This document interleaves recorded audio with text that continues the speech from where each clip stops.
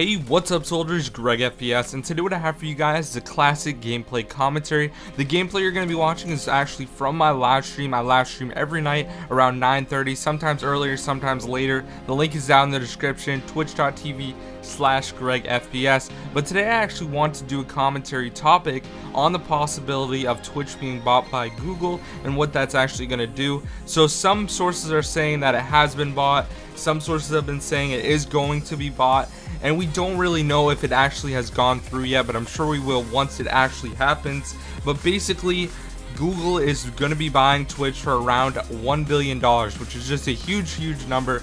Twitch is an amazing company, and I think what Google can actually do is going to be absolutely amazing and really really awesome. So what is it going to do specifically? And these are just some things that i'm thinking are is what's going to happen. So basically there's only two real ways to let users on youtube know when a youtuber is actually streaming. The first one is just having a youtuber like me upload a video saying hey guys i'm live i'm streaming what's up? Come hang out and all that sort of stuff. And then the other one is actually something that Twitch just implemented in this past week, which basically allows every single video under my name of Greg FPS on my YouTube to have an overlay saying that I'm live on Twitch right now. And that's really cool. Like they're getting set to really implement this stuff, which is a great thing, and I'm very, very excited about it. But another thing is, I really think that YouTube and Twitch is going to work hand in hand so, so, so good. I really think that the ability to be able to stream on YouTube and Twitch simultaneously is going to happen. Also, with Twitch being bought by Google, we're going to have all the power that Google has. They have so much space so much memory, all that stuff, and they are able to just go through videos really, really fast because we already have YouTube going through all those videos. There's so much bandwidth there with YouTube, and I think if Twitch really implements this, it's going to open up a gateway for way, way, way more users to be able to stream their games and open up a community for themselves.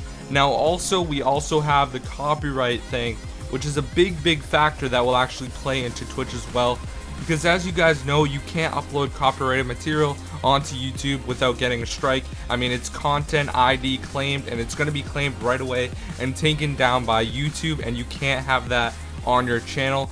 On Twitch right now you are able to use copyrighted material such as music and things like that.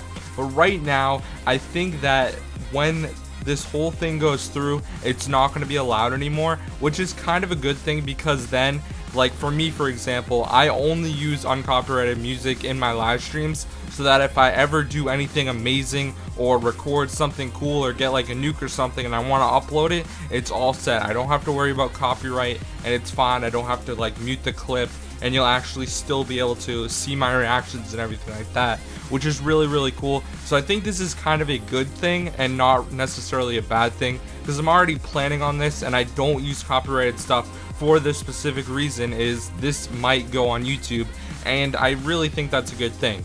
The next thing is that Twitch is actually a really really really popular place for a lot of people. Over there's millions and millions of users that use Twitch every single day. No matter what game you're watching no matter what game you're playing there's so many people on Twitch and that's really how YouTube is as well so I really think that with Google taking over Twitch and having YouTube already, there's nothing really bad that they can do except combine them to make them even better. Now, I don't really know what is going to happen with the whole Twitch subscribe thing. I think that if you subscribe to YouTuber, you should also have access to their stream and you should not have to pay whatsoever. I think that the whole subscribe thing should just go back to donations like it used to be.